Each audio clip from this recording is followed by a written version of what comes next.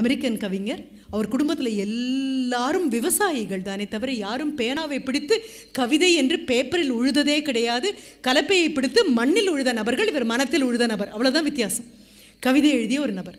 யாரும் ஏற்றுக்கொள்ளவே இல்லை. குடும்பமாச்சு குழந்தைங்களாச்சு இன்னும் இவரை அங்கீகரிக்க யாருமே இல்லை. அதுக்கப்புறம் கிளம்பி இங்கிலாந்து வராரு. அங்கே ஒரு பெரிய கவிஞராக கொண்டாடுறாங்க. அதுக்கப்புறம் திரும்பி அமெரிக்கா போகும்போது பெரிய கவிஞராக ஆயிடுறாரு. எல்லோரும் ஏற்றுக்கொள்கிறாங்க ஆனால் அவர் எழுதிய மிக அழகான கவிதை தான் இந்த ரோட் நாட் டேக்கன் அதனுடைய முதல் ஸ்டான்ஸா சொல்லும் பொழுதே எப்படி இருக்குன்னா என்ன எல்லோ வுட் அந்த வனமே மஞ்சளாக இருந்தது. வனம் எப்போது மஞ்சளாக இருக்கும்? யோசிச்சு பாருங்க. வனத்தில் இருக்கக்கூடிய மரங்கள் எல்லாம் இலைகள் பழுத்து கொழிந்து கீழே விழுந்தது அப்படின்னா தரைப்புறம் மஞ்சளாக இருக்கும். அப்போது ஆன எல்லோ வுட் அது ஆட்டம் சீசன் இலைகள் எல்லாம் கொழிந்து விழுந்தாச்சு. போகிறாரு போகும்போது இரண்டு பாதைகள் பிரியுது. ரொம்ப நேரம் நின்று பார்க்குறாரு. பார்க்கும்போது இரண்டு பாதைகளும் அன்றைய காலை பொழுதில் ஒரே மாதிரி தான் இருக்குது ஒரே ஜாடையாக இருக்குது இன்றைக்கு காலை பொழுதில் யாருமே நடக்கலை அது மேலே. யாருடைய காலடி சுவடுமே இல்லை. இரண்டு பாதைகளும் வாங்க என் மேலே பயணப்படுங்க அப்படின்னு கூப்பிடுற மாதிரி இருக்குது பார்த்துட்டே நிற்கிறாரு நிற்கும் பொழுது அவருக்கு தெரியும் ஒரு பாதை வளைந்து அது எங்கே போகும்னு தெரியும். அந்த பாதையில் எத்தனையோ பேர் நடந்திருக்காங்க. அன்னைக்கு காலையில் நடக்கலையே தவிர எத்தனையோ பேர் மீண்டும் மீண்டும் மீண்டும் போன பாதை தான் இன்னொரு பாதையை பார்க்குறாரு. இன்னொரு பாதை இது வரைக்கும் யாரும் போன பாதையே கிடையாது. இதில் போகணும்னு அவருக்கு தோணுது. மனசுக்குள்ளே என்ன சொல்லிக்கிறாரு? இந்த பாதையில் போகலாம். போய் கொஞ்ச தூரம் போனதுக்கப்புறம் மீண்டும் திரும்பி வந்து இந்த பாதையிலையும் போகலாம் ஏன்னா இதுவும் நல்லா தானே இருக்குது எல்லோரும் போன பாதையில் இப்போ போக வேண்டாம். புதிய பாதையில் போகலாம் அப்படின்னு. ஆனால் அவருக்கே மனது மறுபடியும் சொல்லுது. புதிய பாதையில் நீ போகலாம். அந்த பாதை மறுபடியும் இரண்டாக பிரியும். அதில் ஒன்று தேர்ந்தெடுப்ப அது மறுபடியும் இரண்டாக பிரியும். அதில் ஒன்று தேர்ந்தெடுப்ப. கண்டிப்பாக எல்லோரும் போன பாதைக்கு மீண்டும் ஒரு நாள் வந்து போவது என்பது உன்னால் முடியாது என்று மனம் சொன்னாலும் எடுத்துக்கிறார். ஏன்னா எல்லாரும் அப்படி தான் சொல்கிறாங்க இன்றைக்கி நீ டாக்டர் ஆகுதுன்னு முடிவு பண்ணிட்டேன்னா அது மட்டும்தான். இல்லை எனக்கு லாயர் ஆகணும்னு ஆசை.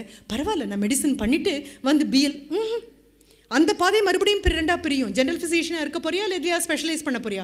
அதுக்கப்புறம் மறுபடியும் ரெண்டாம் பிரியும். உங்கள் ஊரில் வந்து வேலை பார்க்க போறியா இல்லை வெளிநாட்டுக்கு போக போறியா? மறுபடியும் ரெண்டாக பிரியும். மீண்டும் மீண்டும் மீண்டும் மீண்டும் பாதைகள் ஒன்று என்னோடு பயணப்படுன்னு சொல்லியாச்சுன்னா அந்த பாதையில் போனதுக்கப்புறம் திரும்பி வந்து இன்னொரு பாதையிலும் பயணப்பட வேண்டும் என்று மோகம் இருக்கலாம் ஆசை இருக்கலாம். அது கனவாக மாற முடியாது. இது சத்தியம். எல்லாரும் வாழ்க்கையில் வந்த அத்தனை பேருக்கும் தெரியும். அப்புறம் கடைசி ஸ்டான்ஸாக்கு வரும்போது அவர் சொல்கிறாரு இந்த wind autumn of my life எப்படி இப்படி மரங்கள் எல்லாம் இலையை கொழிஞ்சு கொண்டிருக்கோ அதே மாதிரி வாழ்க்கையினுடைய ஆட்டம் சீசனுக்கு நானும் போவேன். முதுமை அடைவேன். முதுமை அடைந்து உட்கார்ந்திருக்கும் பொழுது எனக்கு ஒரே ஒரு பதில் மட்டும்தான் வரும். என்ன தெரியுமா?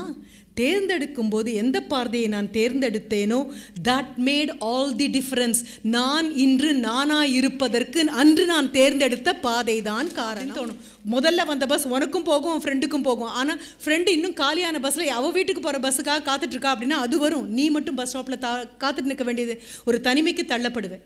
யாருக்காகவாது விட்டு கொடுத்து யாருக்காகவாது விட்டு கொடுத்து அப்பா சொன்னாங்கன்னு இந்த இடம் அம்மா சொன்னாங்கன்னு இந்த இடம் ஆசிரியர் சொன்னாங்கன்னு வரும்பொழுது ஞாபகம் வைத்துக்கோ திரும்பி உன்னுடைய இலக்கை நோக்கி உன்னால் வர முடியாது.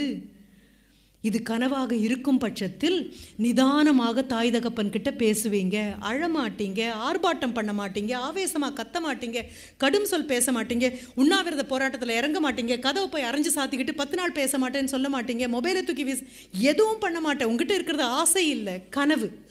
கனவுகளுக்கு கனம் அதிகம் கனவுகளுக்கு அஸ்திவாரம் இருக்குது கனவுகளுக்கு பின்னால் செயல் திட்டம் இருக்குது என்னுடையது கனவு அப்படின்னா என்னால் உட்காந்து கண்ணு பார்த்து கையை பிடிச்சி அப்பா கிட்டேயும் அம்மா கிட்டேயும் இது என்னுடைய கனவு கனவை நோக்கி நான் நகர்ந்து கொண்டிருக்கிறேன். என்னுடைய ஒவ்வொரு நகர்வும் உங்களுக்கு தெரியும். நடனம் ஆட வேண்டியது மிகப்பெரிய நடனத்தில் மிகப்பெரிய நபராக நான் வரணும் அப்படின்னு சொன்னால் அதை நோக்கி நான் நகரணும். அதற்குத்தான் நான் ஒரு வினோத் காம்ப்ளியையும் அதற்குத்தான் ஒரு சச்சின் டெண்டுல்கரையும் உங்களுக்கு அடையாளம் காமிச்சேன் நான். கனவை நோக்கி நகர்வது மிகவும் கடுமையான பயணமாக இருக்கும். நாலு அடி முன்னால வச்சேன்னா பத்து அடி பின்னுக்கு தள்ளப்படுவேன். ஆனாலும் உன்னுடைய ஆதர்சமாக கண்ணுக்கு தெரியக்கூடியது ஒளிவிளக்காக கண்ணுக்கு தெரியக்கூடியது உன்னுடைய கனவாக இருக்கும். அந்த கனவனுடைய வெளிச்சத்துல காலை தூக்கி வச்சு உன்னால போக முடியும். எத்தனை பேர் எத்தனை தடவை கேட்டாலும் இதெல்லாம் ஒரு கோர்ஸு இந்த கோர்ஸை எடுத்து படிச்சா உனக்கு என்ன கிடைக்க போகுது? அப்படின்னு ஊரே உன்னை கு- சுத்திலும் நின்று கிண்டல் பண்ணினாலும் கேலி பண்ணினாலும் போகும்போது உன் பின்னால விழக்கூடிய நிழலை உருவிட்டு போனாலும் நீ கவலைப்பட மாட்டேன் உன் கூட நீ இருக்கிற வரைக்கும் உன் கனவு இருக்கிற வரைக்கும் உன்னால உலகத்தை எதிர்த்து வர முடியும். ஆனா அந்த கனவு இருக்கணும் அந்த கனல் இருக்கணும் அந்த தணல் இருக்கணுமே தவிர சும்மா ஆசை இருந்து காரியம் இல்லை. மனச்சோர்வுக்கும் உடல் சோர்வுக்கும் ஒற்றை காரணம் உங்க மனதுல கனவு இல்லாமல் ஆசை இருப்பது மட்டும்தான். கனவுங்கிறது அப்படியே அக்னி குஞ்சு தான். பாரதி அதை தான் சொல்கிறேன் அக்னி குஞ்சொன்றை கண்டேன் அதை ஆங்கோர் மரத்தின் பொந்திடை வைத்தேன். வெந்து தணிந்தது காடு தழல் வீரத்தில் குஞ்சென்றும் முப்பென்றும் உண்டோ? சின்ன குழந்தைங்களுடைய கனவு என்ன குறைந்து போச்சு? பெரியவங்களுடைய கனவு என்ன பெருசாக போச்சு? உன்னால் சொல்ல முடியும். அழமாட்டேன் கதற மாட்டேன் அப்பா அம்மா கிட்ட பிளாக்மெயில் பண்ண மாட்டேன். நீங்கள் எனக்கு இந்த கனவை நோக்கி போக விடலைன்னா இப்போ ஒன்றும் பண்ண மாட்டேன். நின்ன இடத்துல வேரோடி மரம் மாதிரி நின்று கண்ணு பார்த்து இயற்போடு சந்தோஷமாக அதையே தான் திருப்பி திருப்பி சொல்வேன்.